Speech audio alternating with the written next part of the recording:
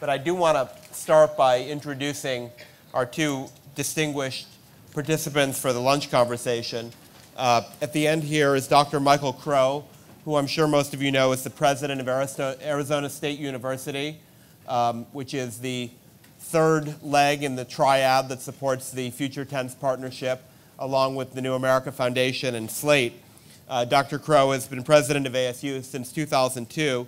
Before that, he was the vice provost at Columbia and the chief strategist of Columbia's extensive research enterprise.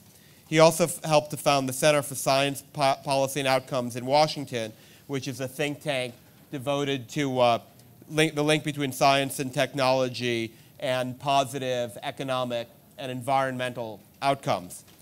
Directly to my left is, is the writer Neal Stephenson. As I'm sure most of you know, he's the author of a number of best selling books, uh, including the Baroque Cycle novels, Cryptonomicon, The Diamond Age, and Snow Crash, and also uh, Zodiac is another title of his. He was an advisor in the creation of, of Blue Origin, uh, a company that is pursuing private space launch and he was also involved in the creation of something called the Intellectual Ventures Lab, which is dedicated to uh, supporting new inventions of all kinds. Maybe we'll, maybe we'll hear a little, little bit more about that in a moment. Um, since this is a lunch conversation and we're going to range pretty widely, I, I, thought maybe we'd just start before we get into the explicit topic of uh, government policy in relation to technology and just talk a, bit, a little bit about the role of the imagination in thinking about these futures. Um, since we have Neal Stephenson here, you know, one of my favorite uh, literary stories is about the writing of the first, first science fiction novel, Frankenstein, which is in fact the anniversary, I believe the 200th anniversary of Frankenstein is coming up. So it's, uh, it's, especially, it's especially relevant here.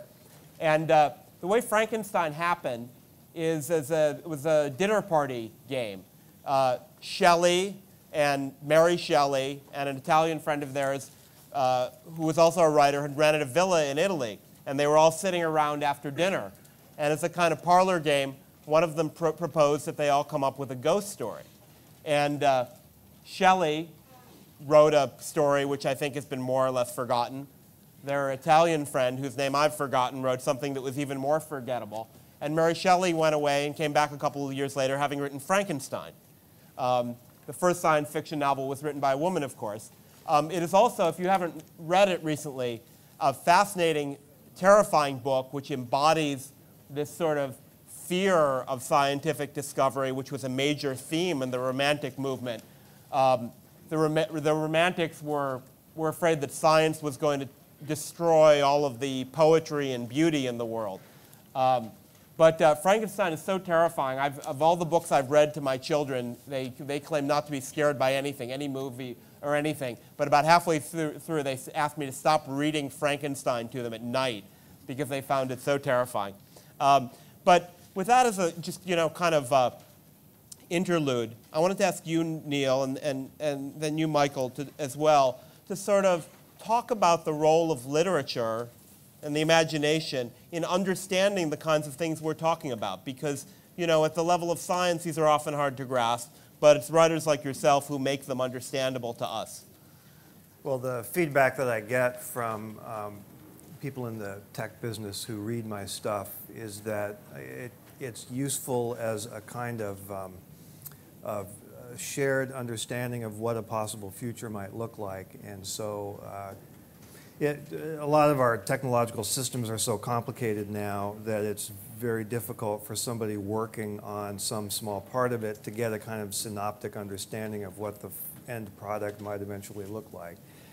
Um, and um, the, uh, the story that I kept hearing, and I, I assume it's apocryphal, but it may be true, was that there was a certain era in Silicon Valley when people were going into meetings with venture capitalists and throwing Snow Crash onto the table and saying, This is our business plan.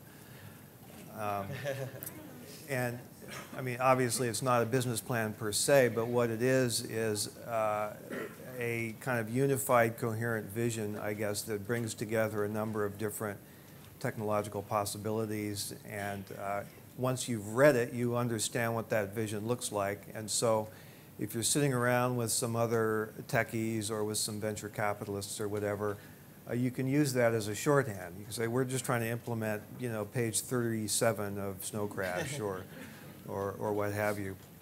And that, that seems to be of great value to, um, to, to people who, who, are freak, who would otherwise be stuck in a somewhat narrow and specialized uh, kind of cubicle. Yeah. Uh, Michael, you know, we have the, we're pretty familiar with what, what might be called the, uh, the anti synth bio reading list of, you know, Frankenstein, Brave New World. Do you have a, uh, a kind of pro synth bio reading list? I know you're a reader of, of science fiction, you know, books that help people grasp these things and that don't have a purely negative outlook on where it might be going. Yeah, uh, let, me, let, me, give a couple comments on that. I remember, uh, and I'll use myself as an example, when I was in the Science and Technology Policy program at the Maxwell School at Syracuse, on uh, Tuesdays we used to sit around and watch the, what was then, this is 82, 83, uh, the Technology Run Amok movie series. Uh, and the purpose of that was to uh, just get a sense of all of the sort of additional consequences that could come. These are all science fiction movies like Blade Runner and things like that, that all of the consequences that might come from technology if, in fact, it was able, as it often does and can, and uh, maybe even should in some ways, uh, run amok. Uh, and so that's sort of a deep background for a person that if you were to uh, ask me what I do and, and you had long enough to listen to the answer, I'd probably distill it down to the fact that I'm a knowledge enterprise architect. So Neal's a, a, writer and an entrepreneur, and I'm an architect, but I don't design buildings or things, I design organizations that create knowledge and they create things like outcomes like synthetic biology or nanotechnology or what have you. And I can say that at least personally as a knowledge enterprise architect, I've been heavily influenced by a wide range of literature, including science fiction, and I'll pick three specific uh, examples. Uh, Asimov in Foundation Trilogy conceptualizes uh, this planet Trantor and this, uh, uh, this highly integrated uh, social, behavioral, and natural science uh, tool called uh, psychohistory or something like that. I remember the exact name of it. And uh, Hari Seldon is the master of this, and he becomes capable of predicting the future in a way that it becomes a threat to the government uh, and the empire of this massively complicated uh, millions of worlds, trillions of people uh, civilization that humans have evolved into. And so the notion of knowledge integration and knowledge pursuit towards an outcome that then has unbelievable consequences through predictive capability uh, had a massive impact on me. Uh, a second uh, writer, Neal himself, had an impact on me with uh, the Diamond Age, and some will laugh because uh, there's people in the room that are a part of the National Center for the Social Implications of Nanotechnology. So in Neal's uh, futuristic view of a of a nano-infused uh, world with nanotechnology at all levels and other technologies being used, the social implications as portrayed by Neal's fiction had a big impact on me. Uh, Dan Sarewitz is in the room somewhere. I don't know if it had an impact on him, but 10 years ago we were trying to design a way in which the social implications of nanotechnology could be thought about at the same time as it's being developed, as opposed to waiting until after it was developed. Several attempts went along to design that kind of center. Ultimately, at Columbia, when we were on the faculty there, we were defeated. Ultimately, when we got to ASU, uh, we were able to affect more change, different views in Washington. We won one of the two centers that focus on this, and so it had uh, uh, a massive uh, impact uh, on me.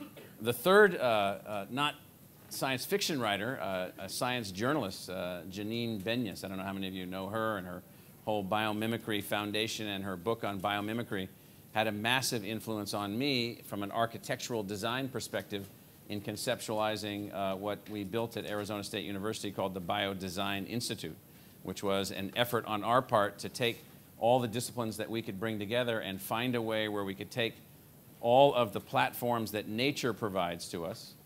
That could be bio platforms or photonic platforms or, or, or whatever, all of the systems that we are a part of and how might we use those systems and draw insight and perspective and begin developing our technolo technological pathways from those platforms rather than the more simplistic, crude, and often destructive ways that we've uh, engaged in things in the past. And so those are three three examples. They're not the only examples, but those are uh, three examples where knowledge architect me, influenced by literature, uh, both science journalism and science fiction. Uh, some science journalism is actually fiction because you know that what they write isn't actually true.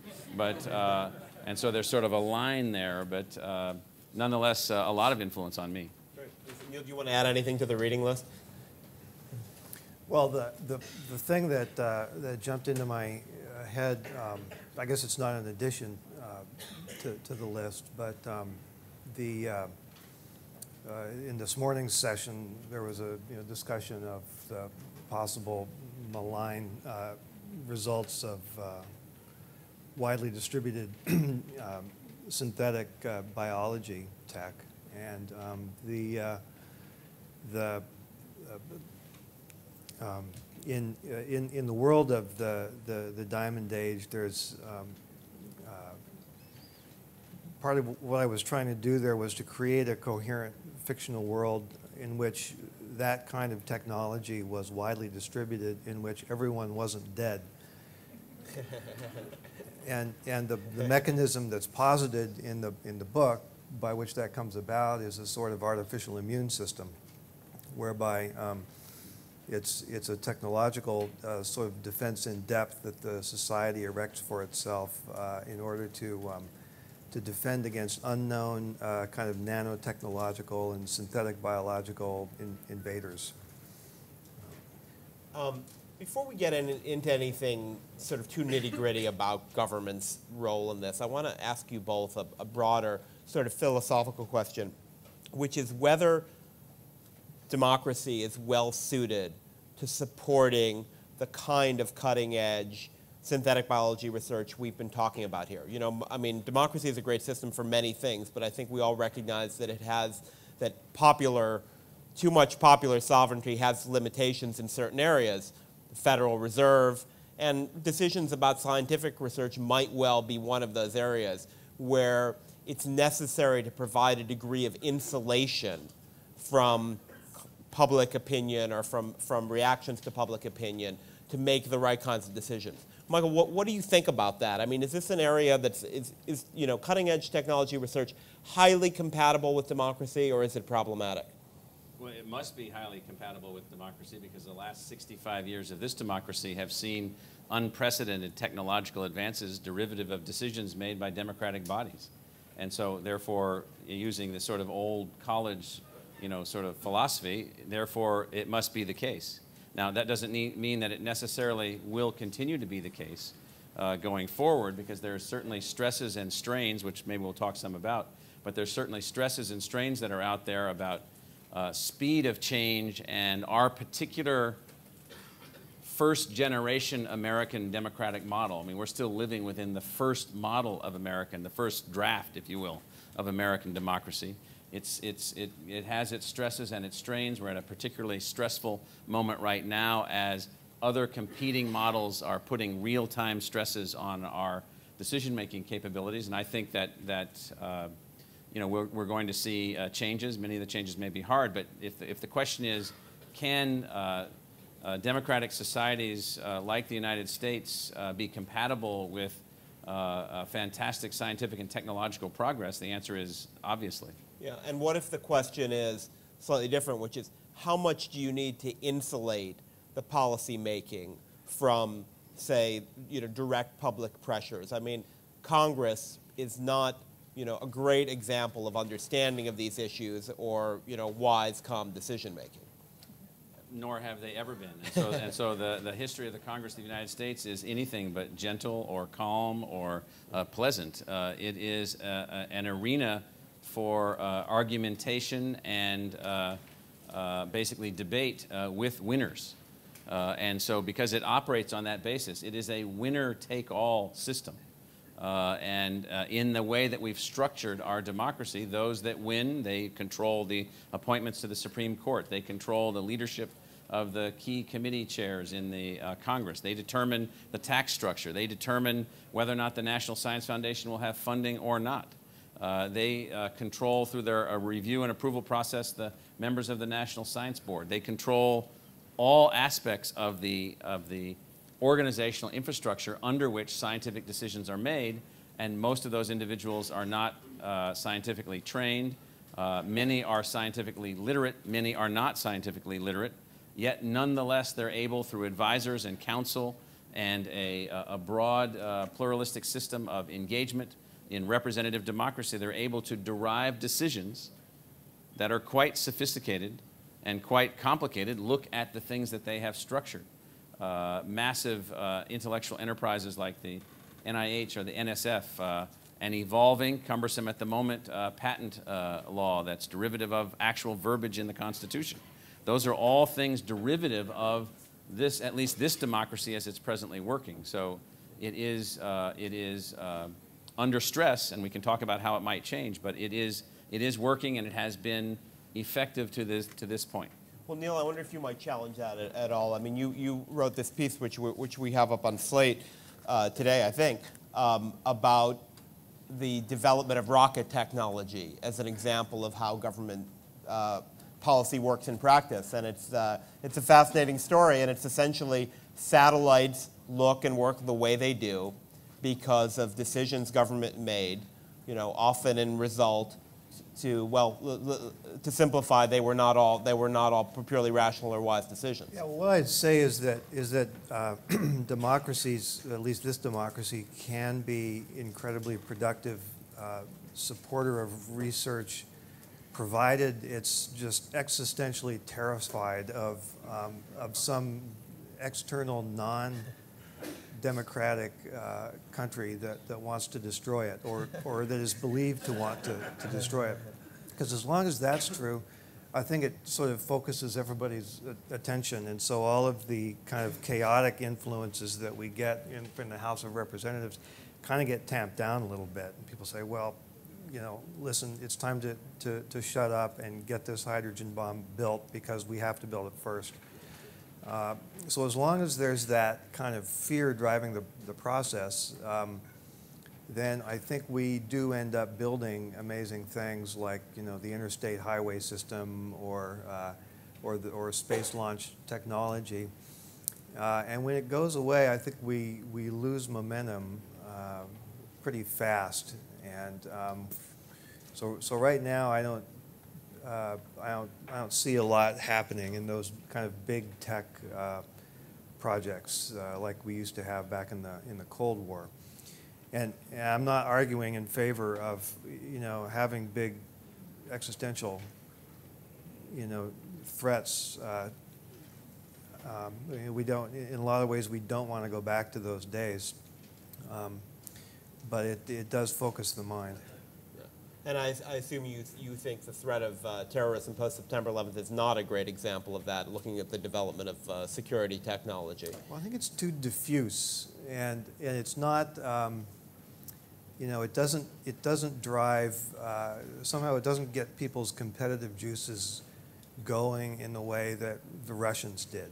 I mean, you know, the, the Russians, you know, there was an enemy, right? I mean, those guys you know, the, the stuff that they built, the alternate culture that they created, a whole kind of alternate civilization, was a truly awe-inspiring threat and a challenge and something that we could uh, compete with. And um, the, the, the, the fact that there are so um, diffusely organized terrorists out there who want to blow up planes uh, doesn't seem to have quite the same galvanizing effect on our culture. Um, Michael, when you you know the, the look at the range of, of cutting edge research that's going on at ASU, do you think the, the principle is the more people know about it, the better? Or are there areas where you think, you know, people, this is so prone to misunderstanding that we're better off doing certain things relatively quietly without a lot of public scrutiny?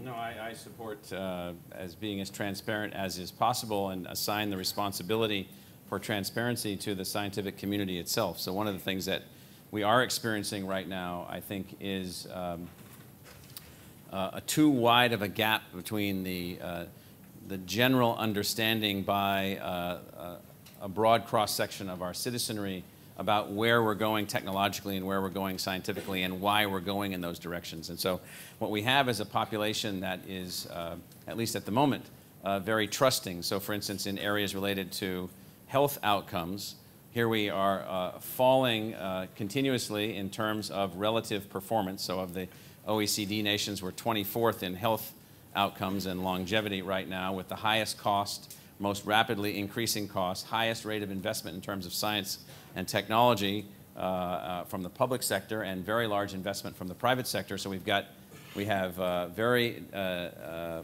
unevenly distributed healthcare outcomes across our population, something that we state publicly that our democracy intends to uh, make more, more even, yet we're failing at that.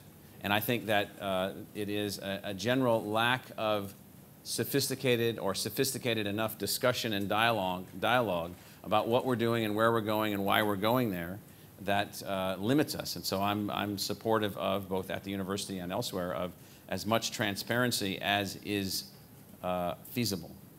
Neal, how about at, a, at your, uh, your invention lab, which is a private sector uh, institution, but I mean, do you, do, you, uh, do you think everything people are working on there can be understood and, and should be widely known by the public? Well, a, a, fair amount of what's going on there is, um, uh, at least the stuff that, that I can, uh, that, that's been, been uh, made public, is relates to things like disease control.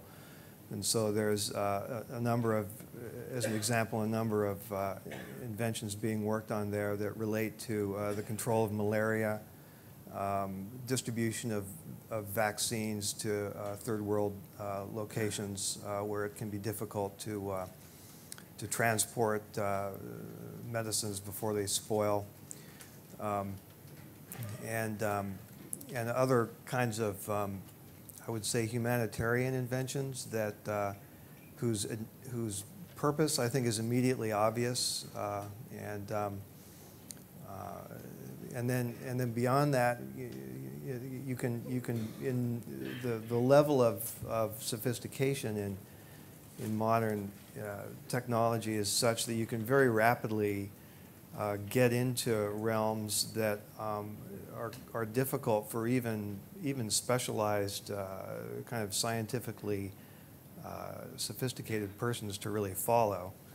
So uh, it's it's my kind of cynical take on it that the sort of public democratic consensus about science has always been largely manufactured, and that back in the 60s, back in the 70s, um, the, uh, the, the, kind of centralized uh, television networks that we had and, and kind of relatively limited bandwidth of information um, created a sort of cultural milieu in which um, people tended to trust science uh, and, and viewed it as a benevolent thing that was going to lead us onwards to uh, improve standards of living.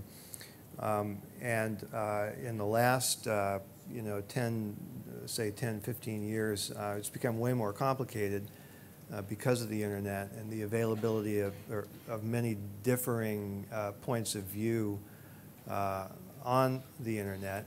And on top of that, uh, I would say a kind of cynical exploitation of that by some people who want to spread um, uh, misinformation as a way of getting people getting a certain political base uh, whipped up into a froth. So, um, so I think in, in terms of, uh, of the public relationship to technology now, um, it's not so much about the, the scientific facts of what technologies really can and will do as it is about uh, how they're being portrayed uh, by people who are kind of good at manipulating the opinion channels uh, available on the, the internet. Michael, that's a rather cynical view, isn't it? well, I don't know if it's cynical. It's, it's uh, let, me, let me just add a component to that. I mean, so, so uh, in 1939, the American government spent uh, less than $100 million on research, and most of that was focused on uh, a few things related to aviation development, a lot of things related to agriculture, and things that were at, the point, at that time basically considered almost nationalized industries. And then World War II changed everything, and uh, we had a manifesto come out at the end of World War II, uh, written by uh, Vannevar Bush and a few other people that sort of laid a first generation, highly simplistic, incomplete view of a contract between the scientific and technological community and the citizens of this democracy. And in that conceptualization, it was very simple. It says, please give us money to do science. Uh, let us decide what science we want to do, and we'll give you national defense and economic security and health security. They didn't use those words then, but that's what they meant. And then, and then all will be good. Well, as we become more sophisticated in the, in the last 65 years, now people say, well, yeah, let's look at that health security thing. What we'd like, like is life extension, and what we'd like is uh, fairness and equity, and what we'd like is greatly diminished cost for that life extension, and what we'd like is uh, to be able to, uh, you know, understand the basics of it, and please carry that out. What we've, what we've, what we've failed to do now, and I might be uh, cynical with Neal here a little bit, is uh, we have not realized that our democracy sets our objective functions, and the scientists and the technologists need to meet those objective functions. And where they're not meeting those objective functions, as they aren't now in a number of areas like environmental sustainability, uh, renewable energy systems, healthcare outcomes, and so forth, they need to go back and rethink what it is that they're doing or how they're doing it because the democracy is saying and has said for decades this is what we want you to do, this is what we want you to achieve. We're trusting you to figure out how to do this. We may constrain you here or there in terms of things we want you to do or not do. Uh, but uh, that part of our democratic decision-making equation, in my view, has broken down within the uh, actual conduct of the scientists and the technologists themselves. They're no longer, or not to the extent that they should be, focused on the social outcomes that the democracy is willing to make the $200 billion investment that they're making this year uh, in science and technology, or about that, uh, versus what they were making before we had this contract, which was almost nothing. Uh, that's where the, the, the, democratic system is in need of updating and repair with, within this uh, particular context. Yeah. Well, let's uh, talk about this question of government support. I mean, what, my, what's the ideal uh, scenario for you? How, how big should government be in supporting this kind of research that we're talking about here? And how do you draw this line? I mean, the, you know, the familiar concept is government should support the basic research, but not the applied research. But here we're looking at uh, in synthetic biology areas where, first of all, the applied research may not be very commercial and may have tremendous benefits, and second of all, where the line between what's, what's basic and what's applied may be very porous.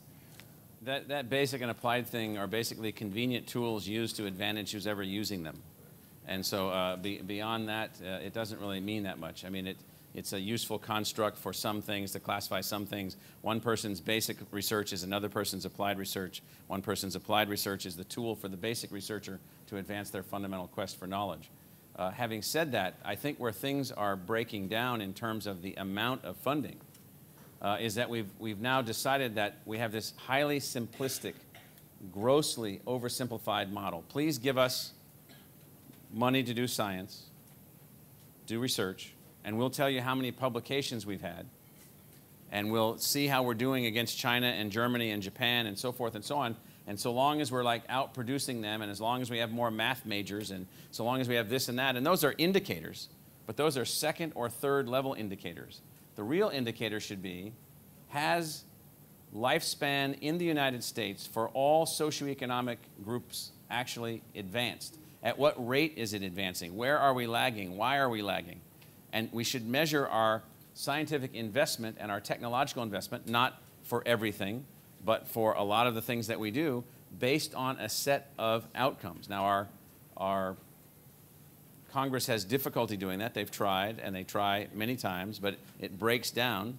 Uh, and so, uh, how much, it, you know, the amount of money that we would invest would be determined by how important is the outcome that we seek, how much progress are we making toward that outcome, what primary, secondary, and tertiary benefits are we gaining from those investments as we seek that outcome? Uh, and right now, we don't have a logic that works that way for the most part. Do you see what, what, what Neal was saying before about the kind of uh, you know, national fear or national competition? Do you see that as a major motivating factor? I mean, certainly people respond to the idea that the United States either has the opportunity or the need to be the dominant player in new technologies. Well, I mean, I cert it certainly is the case that economic development and economic success of, of our country in the present structural mechanisms by which the economy advances are highly driven by technological advance. So we know that, that technological advance and economic growth are highly correlated. We know that technological advance is now highly correlated with scientific activity. So the answer is yes, but toward what end? Toward what purpose? So what is it that we actually want as the outcome? Because it turns out that these scientific and technological advances that we're investing in will produce certain outcomes. The outcomes that they have produced up to this point are a list of very good ones, a list of not so good ones, and a list of horrid ones, all from the same investments that have been, that have been going on. And so we ought to sort of move forward where we have a longer list of really good ones, a longer list of some pretty good ones, and as few of these horrid ones as we can possibly uh, lay our hands on. I mean, we're still dealing with nuclear proliferation from a decision that we made to develop a certain kind of weapon that we thought that we could contain. We haven't been able to contain it. It's not containable.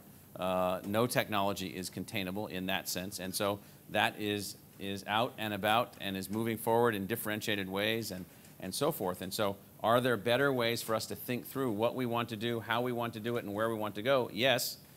Can that be done in the democratic structures that we have? Yes, with some modernization. Uh, uh, is it easy? No, but you have to actually want to think about it. And when you're trapped in uh, simpleton land, like we are right now, right now the, the, the, the, the, the basic debate, uh, this is true for university presidents, for others, it's like more money, more money, more money, more money, and everything will be good. Well, not hardly. More money for what? More science. What science? Well, the science that we think up. To do what? It'll be good. well, maybe yes, Except maybe for no. The stuff we banned. Yeah, except for the stuff we ban or the, oh, you know, I, I'm really so sorry about that, like that, that, that thing, that, that device that is detonated in the city and then the city doesn't exist anymore, except for stuff like that. Yeah. Um, well, Neal, I mean, you're, you're an, an investor, I gather, in these, you know, in these private sector ventures, both around space. No. No, I don't. No. Oh. Well, you certainly follow them very Yeah, closely. yeah, Yeah. So I guess my question for you is sort of in, envisioning these futures. How much of the innovation is driven by government decision making, government support, and how much of this is just just happening in the private sector, whether the government gets on board or not? Well, I, I think that the, uh, the, the, what sort of, so the, the, the kind of implicit question that, that's, that's being raised is um, at, at what point do you just say, you know what, I don't need to deal with this democratic process anymore. I'm just going to go out and raise funds in the private capital market. And then I- only have to talk to one smart investor, you know, or, or a few smart investors uh, to get the support that I need.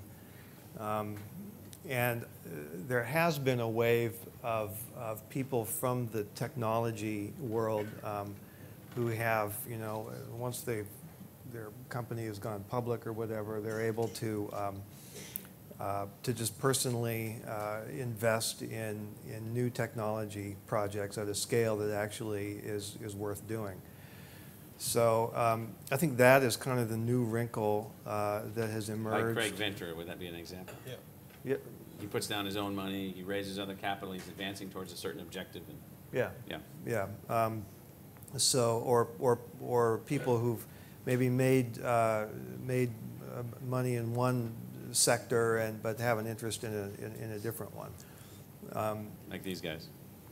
yeah, yeah, I'm trying to think of, um, like Tesla, is there a, do, do some of the Google guys in, invest in? Yeah, Elon Musk is, is, right, right. So he's, so he started out with, with one thing, which is PayPal, and, but he's, he's supporting R and D in, um, in a completely unrelated, you know, uh, sector or multiple unrelated sectors of technology. So that's kind of the new wrinkle.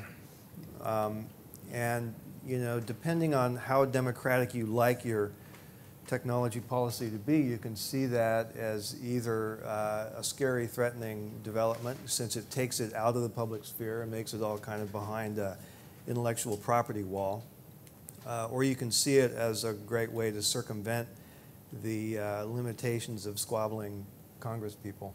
Yeah.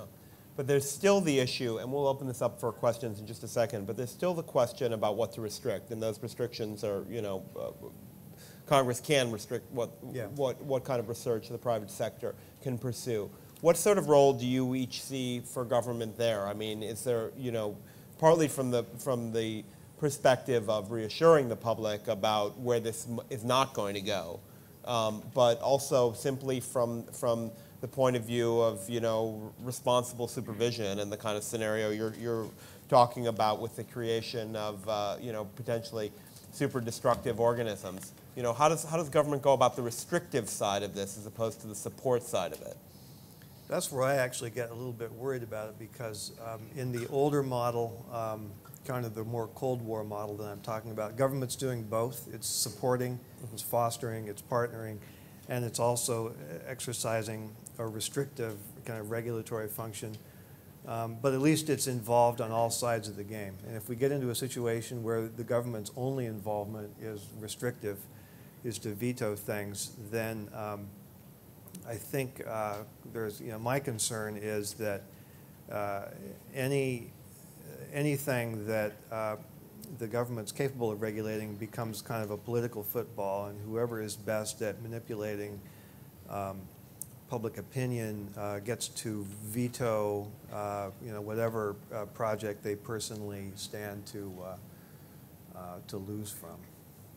I mean, when it comes to nuclear policy, which is the example you're using, you, you know, it's easier in a way because only government, still really, only government can do it. There's the proliferation issue, but in terms of, of the basic research and the creation, it sort of couldn't happen without government support. With the kind of synthetic biology uh, research we're talking about, uh, as Andrew Hessel was talking about, you know, this may be a kind of garage movement where, where people are pursuing a lot of this in a very, in a very lo-fi way you know, outside the, the purview of, of big, big public projects. Well, you know, for those of us that live in America, I mean, you're going to have to face up to the fact you live in a democracy. And uh, in that democracy, there's going to be decisions made by the people that we elect. And they're going to make decisions that are more or less informed. Uh, my own uh, fear right now is that as the scientific and technological elite continue to move at light speed to synthetic biology and to this and to this and to this, the folks that we've elected collectively sitting back in Congress are like, what is that? What are you talking about? What is, oh, is that related to this thing that we're hoping that, oh, okay, well, that's fine. Why don't you go ahead and keep doing that? But this other thing over here, I don't know, that's, somebody tells me that that's like a living human, or this isn't a living human, or this, or this, or this. And so as, as, this, as this debate progresses, I think the main thing that we have to do is we have to remember that we're focused on a set of outcomes. We have these democratic decision-making bodies. Uh, I, I, deal both with the Congress and the Arizona legislature, and I was there yesterday. Uh, came in on the red eye uh, last night from, the, from meeting with those folks. Uh, they wouldn't track uh, tremendously well with the complicated nature of, the, of, uh, of synthetic biology evolution and the investment in fundamental discovery that would lead to these new life forms that we could construct so that from these life forms we could achieve these objectives. So what we're, what's happening right now is that we're in a moment in time where the scientific and technological elite are out way ahead of these democratic processes that we have. And so you say, who do you blame for that, or who do you go to? To me, I go back to the scientific and technological elite and say, well, you've got two choices. You can either slow down, which is not in your nature to do, because you're driven by what you're discovering and as you're learning moving forward, or you can step back and take the time to do a better job of educating what outcomes we're working toward, or coming into alignment with those outcomes, or doing a better job of educating those that are electing the people to the offices that are going to be making these restrictive decisions. Because at the end of the day, those individuals in those elected positions can restrict anything they want, anytime they want, like that. But you really think they're, they're educable, Michael. I mean, you're talking about, you know, you're talking about, I mean, it's interesting that you put so much of, of the burden on the people who have to do the better job explaining. I, but I, I, yeah. ab I absolutely, unequivocally think that they are educable. Uh, and I believe that because I've seen it happen. I've been involved in those processes. I've seen it actually occur. We are continuing to make great progress. We're continuing to make all kinds of, of, of good decisions as we go forward. But the more elitist and separatist and only driven by scientific outcomes that the scientific and technological elite becomes, and the less focused they become on a set of collective outcomes that we're working toward, using healthcare as to me the most obvious example that everyone can understand. You did all this science, and what did you do for me? You raised my costs. And now I have the lifespan equivalency of, I don't know, like Cuba. Uh, you know, a less wealthy, less R&D intensive uh, uh, country and so forth. And so unless we can figure out how to do a better job at that, then this gap will grow and there'll be, in my view, more and more restrictions, more and more restrictive opportunities, less and less well-informed decisions that are made. It'll be an anchor or a drag until such time as there's a correction that comes back and says, oh, we're ever so sorry. We really would like these resources, and so we're going to have to actually spend some time uh, uh, learning together about what we're doing, outcomes, how we're doing it, process of science, and so forth and so on. And so, as opposed to the argument that you hear every once in a while, I remember this famous phrase that somebody said with the defeat of the superconducting super collider for Texas. Uh, one uh, senior physicist came in and was testifying before Congress, and he was irritated at what he called the defeat of this project by the C students. the C students. That's it. I mean, that's sort of the gap at its widest form right there. Well, clearly, uh, what I'm hearing is that our future as a technological society depends upon science fiction writers.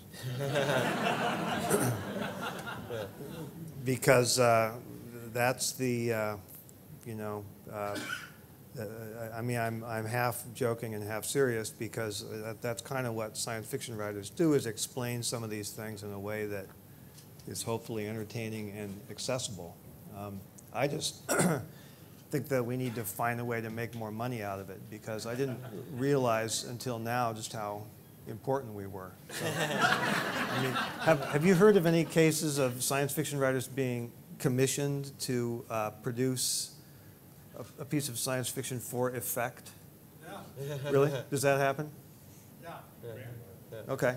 But, but, but, I think you're, you're exactly right, Neal, because if, you know, um, if Michael is saying that, that we, the filter of what Congress can understand is unavoidable, let alone the filter of what the Arizona legislature can understand.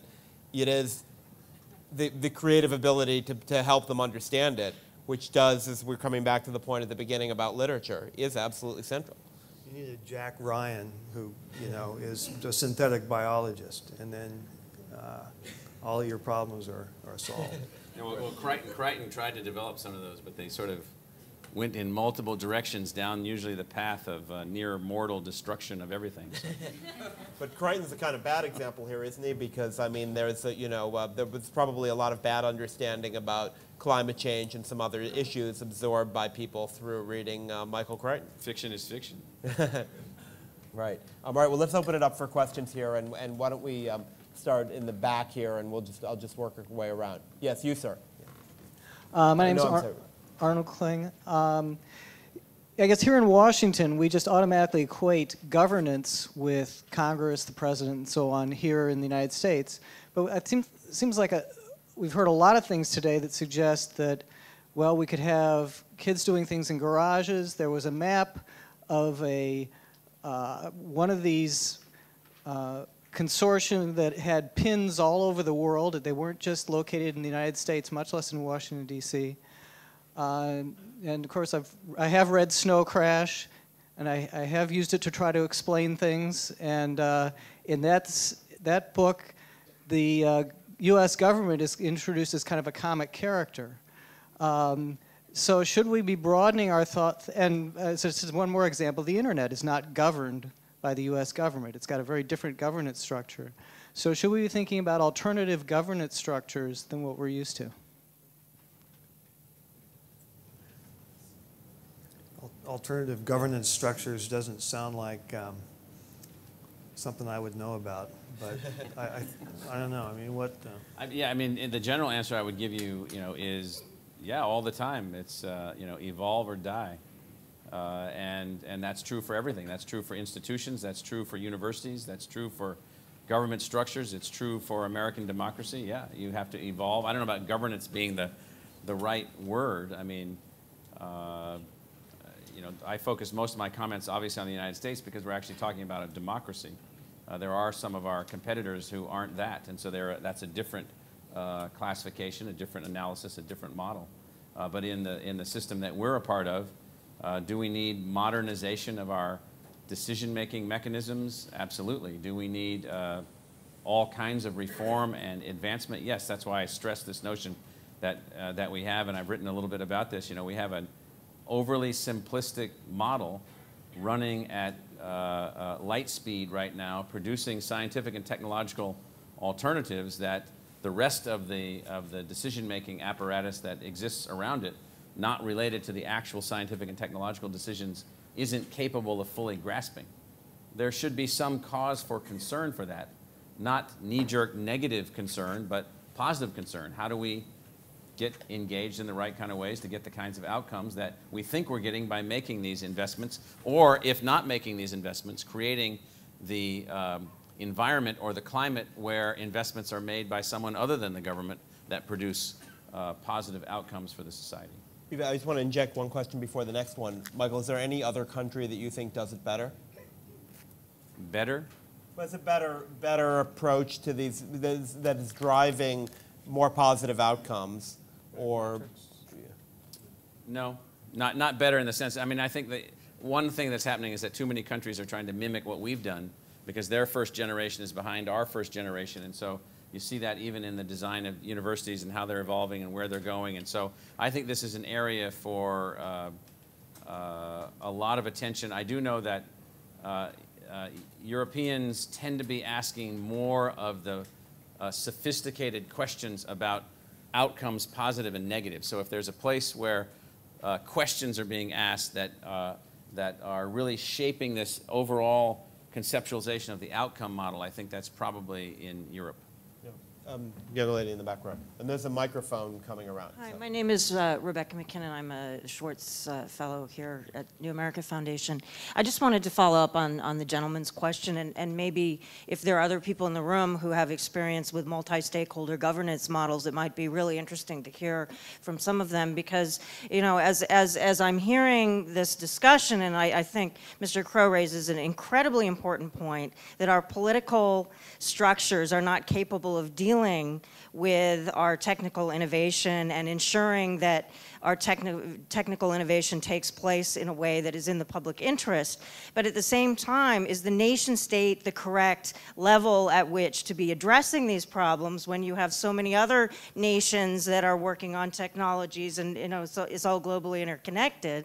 And similarly, do we really need to be looking very seriously at multi-stakeholder models like the Internet Engineering Task Force, uh, you know, the way ICANN uh, coordinates, uh, you know, names and numbers for the, for, for the domain name space, the way IP addresses are coordinated, you, know, the, the way the, the World Wide Web Consortium, you know, there's, there's some very interesting emerging you know, efforts at multi-stakeholder global governance, there are a lot of problems with them, but I, I wonder if some, if, if, if a really serious uh, and detailed look or exploration needs to be made in that area, and I'd, I'd really love to hear from anybody else in the room who has further insight. Great, great question. Do you want to go ahead, Michael? Yeah, I would just say yes. I was on the Internet 2 board for a number of years, which is uh, a, a, governance uh, attempt of certain aspects of the internet competitive with other, other aspects of the internet, largely uh, controlled by universities, uh, uh, sort of emanating out of the University of Michigan. And um, uh, at the end of the day, very complicated, but effective as a boundary spanning kind of organization between users and suppliers and standard setters and competitors and so forth. And so one can count uh, dozens and dozens and dozens of creatures uh, that are out there performing all of these functions within the general environment that we've constructed. And so this multi-stakeholder environment in this highly pluralistic democracy that we live in here in the United States does produce these organizational transformations to, to try to do some of these things. Some of them work more effectively than others. The internet, I'll just go back, is infinitely simpler in terms of its uh, long-term implications, in my view, than synthetic biology by comparison. Uh, and uh, the earlier uh, speaker, maybe he's still here, yes, you know, this notion of sort of using verbiage and uh, terminology to sort of link them as if they are of the same impact and complexity, not that you were trying to do that.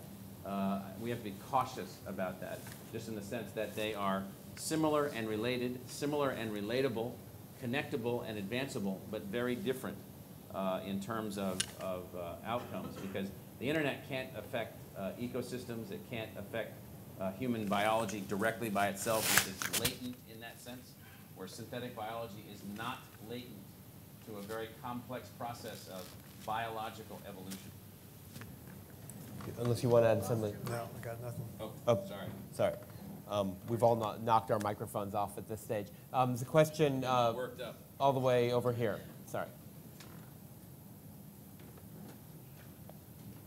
Thank you. Um, my name is Maria Farrell, I used to work for ICANN, actually, uh, the Internet Multi-Stakeholder Body, uh, for several years.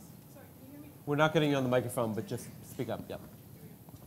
Hi, that's much Better, better. My name is Maria Farrell, and until recently I worked for ICANN, the multi-stakeholder global governance body, uh, working in a, you know, trying to get, it, get on top of some, somehow this uh, uh, technology that was just changing the world. And I can tell you, um, as Rebecca says, they're interesting multi-stakeholder models. My, my answer to this question, can technology policy be democratic, would be, well, maybe it can, but I tell you right now, it's like 1930s corporatism. Um, it's basically controlled by uh, governments and large corporations. And I hate to sound like a raving lefty because I'm not. But you, when you look at the, the um, I'll give you an example. In two weeks' time, the, there's going to be a meeting where the US government has decided to stop a, a five year multi stakeholder process that says, hey, let's open up the domain space to everybody in the world, have lots of new top, top level domains. They want to stop it because intellectual property lawyers and um, some very particular um, uh, religious fundamentalist interests are opposed to it. And it's just so easy to get in the way of these multi stakeholder processes. So I would say um, technology policy can be democratic, but these are, even when you look at where we've tried to, to deal with those issues in a multi stakeholder way, it is so open to capture. Um, so it's a lot harder than it looks. Right, so they have, they have power to the extent that the United States government is not actually giving up ultimate power. Do you, Neal, do you have any, any thoughts on that? That's, that's the, the first sort of cynical thing that pops into my head when I hear the word stakeholder being used is exactly that kind of situation where if, if stakeholder is just a code word for giving somebody veto power, then sooner or later they're going to probably use it. Um, uh, Ideally, there are stakeholders in the more literal sense that uh, they've got a, a stake in the positive uh, success of the venture, whatever it is, and so they've got some incentive to see it actually uh, move forward and succeed. Um, Let's see, in the front row here. And just the the microphone coming your way. And please, uh, just to remind everyone, um, keep the questions brief. And, yeah, thanks. My question is very simple. The Supreme Court has ruled that life can be patented, patent. And I wonder how this will impact. You make it sound like anyone can invent anything in his or her garage. However, if life can be patented, how will this affect this, the synthetic biology industry? And as she had mentioned, what role will corporate America have in this, and what outcomes can you predict or perceive from that ruling from the Supreme Court saying life can be patented? Someone can own it. Would, would that limit use of it? And also access to everyone. If someone has a monopoly on it, who sets the prices? How is it distributed to the common people and the public? Yeah, I get, I guess, Michael, is, is, you know, was that, is that a good decision? I mean, should you be able to patent an organism? You know, what's interesting is that we're going to we're going to spend a, a fair amount of, of time, maybe a few decades. Uh, uh, Paul Berman, a dean of the uh, Sandra Day O'Connor School of Law, is here. Our, our law dean is here, and, and Gary Marchant, one of our law faculty members, who's the head of our Science and Technology Law and Society uh, Center, looking at exactly these kinds of very complex issues. Uh, we're uh, basically um, uh, they haven't even come up with a diaper for us. We're so young in this particular arena. Uh, and so we're like a newborn in this arena still laying in the warming table. Uh, and so the Supreme Court is going to make a series of decisions driven by what? Driven by legal contests between organizations that bring their contests to the Supreme Court for resolution. When a contest comes to the Supreme Court for resolution, the only thing at stake are the parameters within the defined contest. That is the way the court works. And so, uh, uh, on that particular contest, that was that particular ruling, that particular time, given those particular dynamics. And so, given that we're so new into this and we're dealing with so many different things, we've got a lot of thinking to do about uh, courts and rulings and judgments and speed of change and all kinds of things. And so, science, technology, and the law is a vastly underdeveloped area of the law which is in need of serious attention. Um, yes, sir, right here. The microphone's coming your way. Thank you. Uh, my, my name is Richard Benedick, uh, former career Foreign Service in the State Department and ambassador responsible for international environmental negotiations. And I do have a question. Um, I think that we are underestimating the um, current social and political context in the United States, which is largely based on short-term considerations, profits, uh, consumption, and not enough of a consideration of science. Uh, we see this in the climate issue. We did see it under the, for a while in the ozone. I was responsible for the ozone negotiations, as I mentioned. And it was only when it went up to President Reagan, oddly enough, as some people might, might not have guessed, that he overruled some of his principal advisors and came out for our decision for our position for a strong Montreal Protocol on ozone. But we're now in a situation where the country is actually um, in a anti-science populism and dominated by um, philosophy. I'd just like to have your reaction because otherwise it seems to me that we're living in kind of an art, or that we're debating in an artificial atmosphere where we think we can solve things easily if only everybody would be reasonable. But the current atmosphere, both politi political and social, I, I, would cite the Creationism Museum, for example, is very much anti-science, and how can we overcome that? Yeah. Do you feel, Neal, that you're, living, you're working in an anti-science context that's too, uh, too driven by uh, greed and short-term profit and interest? Well, it's just, uh, uh I mean, you're you're, I'm, I'm, with you. You're, you're preaching to the choir here, man. The, um, I, was just, I was just thinking about it uh, in the you know, in the context of the, of the Chinese high-speed trains. So um, the, they've got this amazing high-speed train that runs between um, the Shanghai airport and Pudong, and it's, uh, it's awesome. You know, it's something that we really ought to be worried about in, a competitive sense, that they're building stuff like that, and we've still got the passenger trains that we've got. Um, but we're not. Sputnik, we were terrified of, you know, because it went over United States territory and it beeped. you, know, and so and so we put a huge amount of effort into addressing that. It was a, a long-term program that that worked, but the for some reason we're not scared of the high-speed train in, in China, and, and we don't uh, respond to that competitively in the way that it would be in our interest, our long-term interest to do.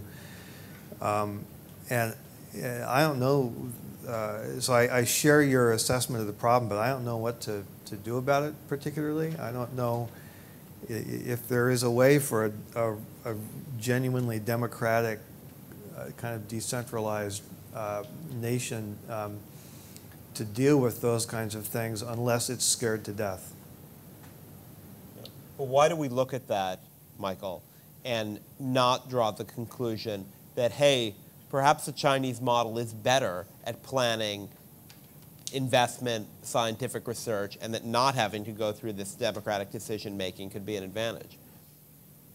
Well, it's not an advantage. It may look like it's an advantage, but it's not an advantage because there's a lot more. I don't want to get into Chinese versus American politics and outcomes and social well-being and uh, uh, rights and so forth. I want to address the ambassador's uh, earlier comment. So I generally agree with your concern about the nature of discourse and rhetoric and the angle of attack that various sides look at, but I'm also an individual that tries to look at the uh, net net outcome.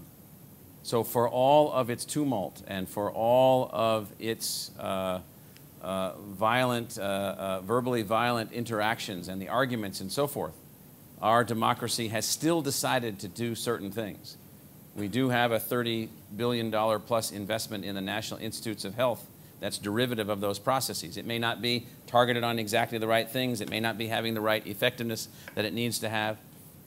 Uh, we are able to actually even conceive of the nature of uh, solution routines to the, to the ozone problem and the Montreal Protocol and global climate change and global climate warming and so forth because we have hundreds of millions to billions of dollars of expenditures going into climate modeling and climate assessment and so forth. So we are at the highest level of scientific energy and creativity and know-how that we've ever been. Where we're having difficulty, what we're having difficulty doing right now is focusing it to produce certain kinds of outcomes. And so, so yes, there's anti-science. Uh, yes, there's anti-this and anti-that. And I have been involved in the front line on the front line of some of those uh, debates and struggles. And it is always the case that if the scientific and technological elite approach the democratic decision making mechanisms that we have in the country from a position of haughtiness or elitism or separatism or give us the money and leave us alone and go away and so forth, then you will get these negative reactions always back and forth. Now, back to this notion of, of, uh, of uh, evolution and so forth that you worry about. I hear this all the time. The number of people that don't believe in evolution as a percentage of the population is probably smaller than it's ever been. There's just more of them by number. By number.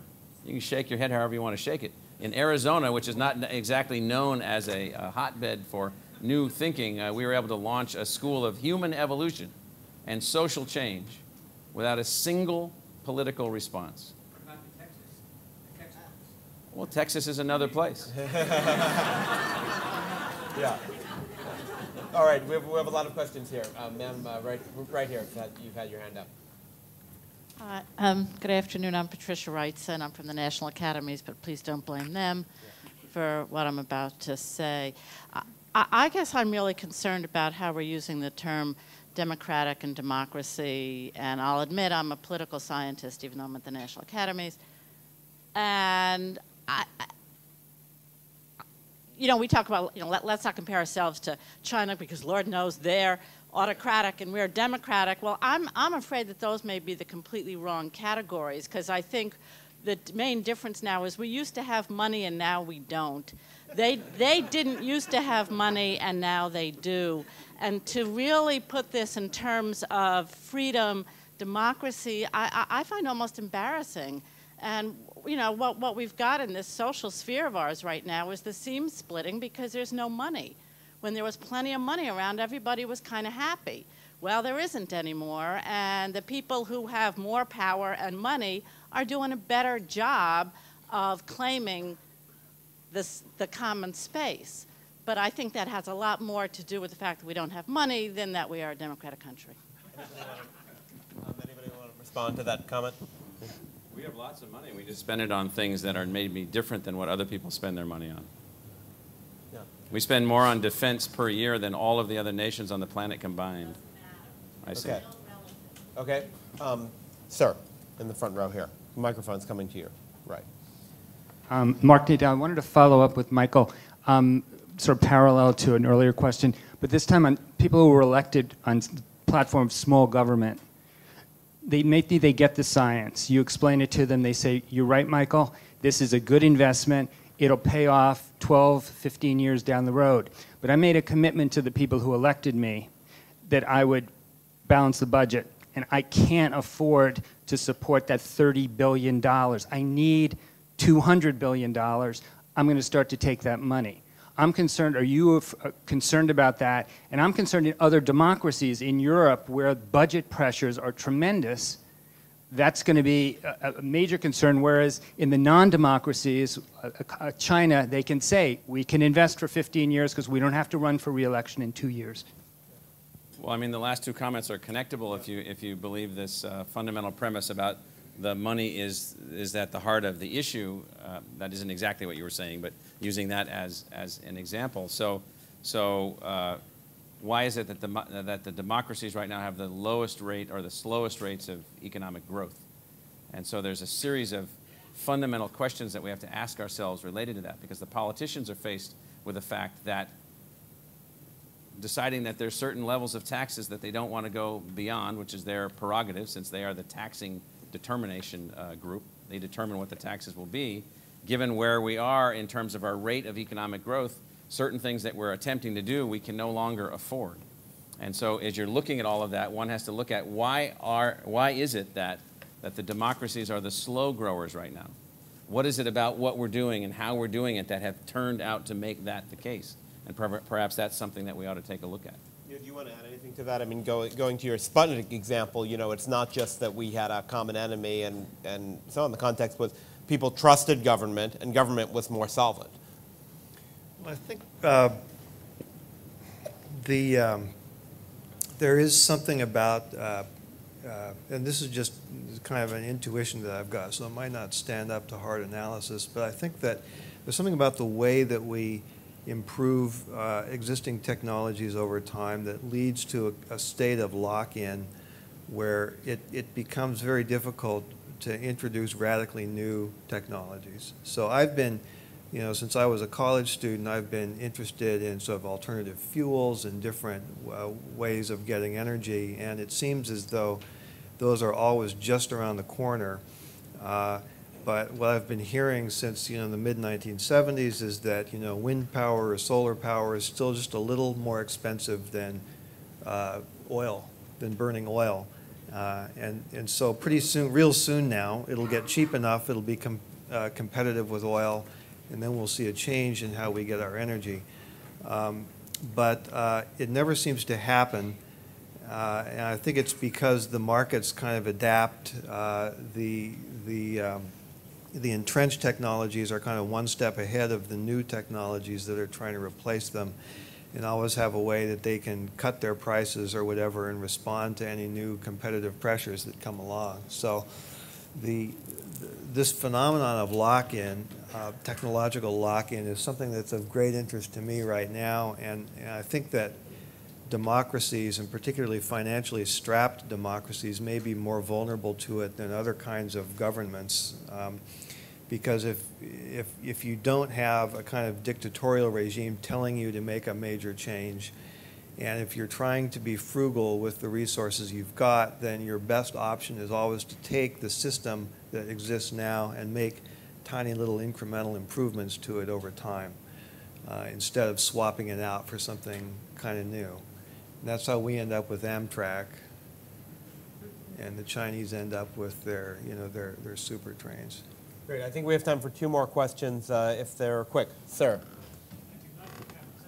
Sorry, just one second. We can't quite hear you without the microphone. Nigel Cameron, Centre for Policy on Emerging Technologies. Very brief question. Question of context. In 10 years' time, are we going to be having the same conversations? We were having the same conversations 10 years ago. I'd love our two um, rather extraordinarily insightful panelists to, to give us some sort of sense of, you know, what are the odds we're going to be in a fundamentally different situation? What are the odds we're going to be talking the same way? Thank you. Great, great question. Go ahead, Neal. I'd say 90% will be in the same situation. yeah. Yeah, I, I, I, don't think it'd be 90%. I, I actually think that um, uh, your life isn't the same as it was 10 years ago, individually or personally. Your family circumstances are not the, the same. There's too many variables, so therefore, how can it be the same? What happens when we're, when we're working at this particular level is that we're at the aggregate level. We're at the systems level, and we're talking at the systems level. Aggregate level and system level things don't observably change dramatically in time frames related to that, except on very rare occasions. Uh, like in certain parts of the world going on as we speak. But even then, even then, there were events that led to those things. And so I would say, yes, it will be fundamentally different, although the system will not be fundamentally different by that time. The nature of the discussion will have to be different because these simplistic views that we have of synthetic biology right now, they're not simplistic in the sense of technologically simplistic, but it's not deployed in the field with a thousand examples that are having impacts across a number of places, and it might be within 10 years. When you're talking about the factories that we heard about this morning and uh, other things that uh, Drew Endy, I don't know if Drew is here. Where, is Drew here? He's here speaking tomorrow, I think, but Stanford professor Drew Endy uh, is talking about the kinds of the biofabrication plants he's putting together and so forth. Those will be in place. Those will be operating. Those will be advancing. And so therefore, below the aggregate, the discussion will be very different. At the aggregate, it will be similar, but I think afflictedly different. Uh, the gentleman in the front row is going to ask the last quick question. Microphone coming up. Thanks. I'm Stefan Richter with The Globalist. Michael, um, it's not the money, you say, and you started out by saying. Well, she and I would have to have a longer conversation. Yeah. Good. But you started out by saying we're only in democracy 1.0 in the United States. Yes. Western democracies as a whole have similar problems with not having too much money. Right now, we're all in tight circumstances. But what strikes me as somebody who was born in Europe and now has spent 30 years in this country is that the real difference in the end is that we're lacking an amazing amount of social cohesion, of will for cohesion between elites and everybody. That's the one thing where the Europeans, at least with this similarly little money, have the ability to then engage in longer planning horizons to do environmental transformations, energy transformations, and major, uh, major challenges that we face right now will only work, such as changing an energy system, if somebody is willing to plan ahead for three decades. And do you think we'll ever get that fixed? Because that seems to be the first thing, because otherwise we're not just stuck here for a decade with the same topics, but longer. And you can both either answer that or have a last word about anything you want. Well, there, there probably is more cohesion in Europe, you know, following a war that killed 30 million people on the continent 65 years ago. I mean, unbelievable stresses that were culminating in that conflict that led to completely differentiated outcomes. Uh, in, the, in the case of social cohesiveness in the United States, it waxes and wanes and comes up and goes down. We happen to be at a moment where it, we are seemingly uh, not as cohesive as we might be. It's because we're focused on our differences more than we're focused on our commonalities. We're focused on what separates us more than we're focused on what has connected us. Uh, I believe that we will return to that again because there's no fruit that can be born from this focus on separateness. There's no fruit there. There's only fruit from a focus on commonality. Europeans learned that the hard way. Uh, Americans have learned it in the past in the hard way. We have an opportunity to advance, maybe not in the hard way. So I'm optimistic about us returning to, in fact, the New America Foundation and ASU have another project, a joint center in social cohesion that we're launching on uh, February 22nd. So that's another area that we're focusing on. What brings us together? What are the common points that bring us together, and how might we take advantage of that? Neal, do you have a concluding thought for us? Yeah, I, um, you know, the Bulletin of the Atomic Scientists has this clock where they set the hands closer to midnight, uh, depending on how great they see the peril of atomic destruction. And I've been thinking for a while that we should have a, a sort of calendar that basically tells us how many years it's going to be before we be, become Afghanistan. And, um, you know, because there's a, a country with of people who are fiercely proud and independent and like to do things their own way. Um, and, and heavily armed and, um, and, and, quite religious. Uh, and um, yeah, I'm, I'm, being somewhat facetious. Uh, I don't think that we will end up as, as Afghanistan, but you can kind of see that calendar moving up and down. From, you know, like after the Tucson shootings, there was suddenly a wave of, uh, of national goodwill for about 24 hours uh, around the time of, of Obama's speech, where it, it, felt like we could add a few decades back onto the Afghanistan calendar. Uh, and then it, you know, it, it, comes back at other times. So I, you know, I think that something will eventually come along that'll uh, create more of a sense of national cohesiveness and, and maybe get us behind um, effecting some of the changes that we need to, to, to make. But it's hard for me to see right now what that might be. And we're going to follow that with a lighter note. Thank you both very much. Thank you.